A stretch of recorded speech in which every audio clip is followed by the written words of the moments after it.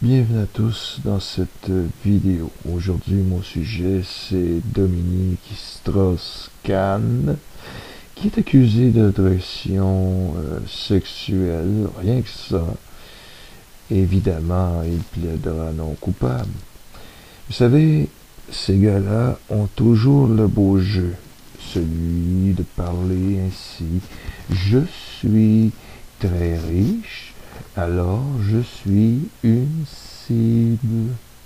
Vous savez, Dominique Strauss-Kahn est loin d'être une cible. Il est comme tout le monde au fond. Il est peut-être riche, mais il est aussi fait de chair et de sang. Et il se trouve comme ça dans un hôtel et vous savez, c'est pas une pop star.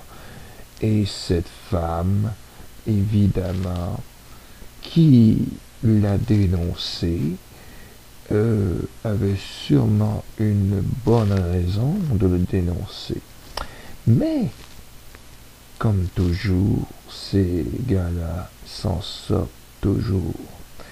Et on espère que le professionnalisme de la police new-yorkaise, du fameux département de la police euh, des crimes de scène, euh, vont évidemment mettre euh, toutes leurs ressources et leurs meilleurs agents sur le coup pour coincer ce salaud.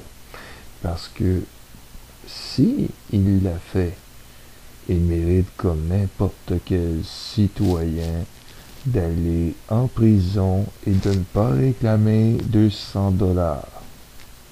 Bonne journée.